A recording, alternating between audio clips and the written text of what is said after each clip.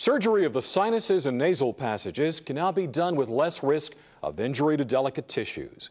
According to Dr. Robert Del Junco of St. Joseph Hospital in Orange, image-guided technology is a great help to the surgeon.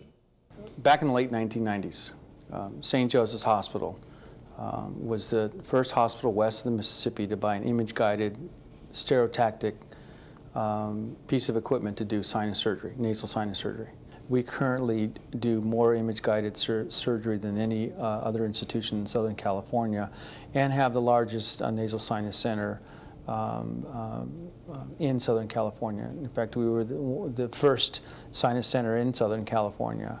Um, we have a, a, a, team approach of allergists, uh, radiologists, and, and ear, nose, and throat doctors um, uh, and have tremendous support from the manufacturers of all this new technology. Most people who need image-guided uh, nasal surgery are pa patients that have chronic sinusitis and nasal polyps, and on a rare occasion, intranasal tumors.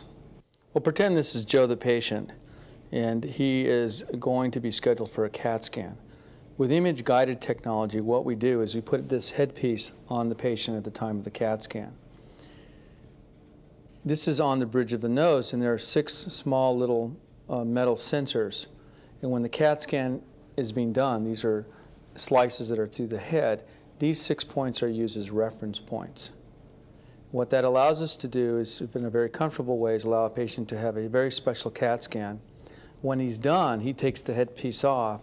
At the time of surgery, we're able to introduce this probe, and the probe is able to allow, to allow us to visualize on the CAT scan our exact point in the nasal cavity.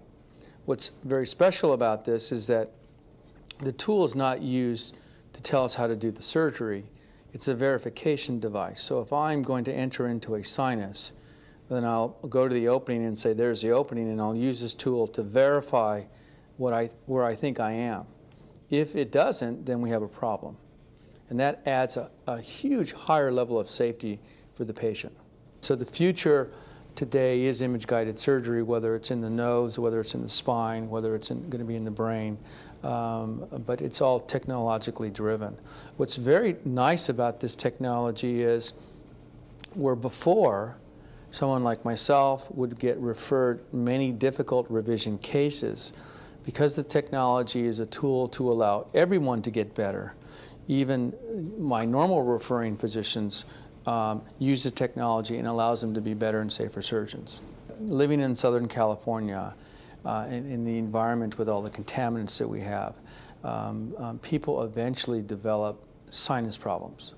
And the problem with that term, as it's coined, sinus problems, it can be anything from something mild, moderate, or severe.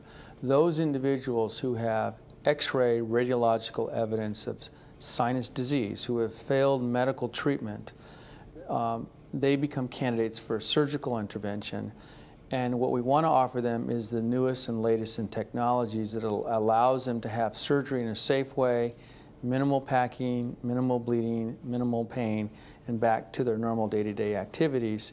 Um, and that's what this technology offers for that group of people who fall into that category.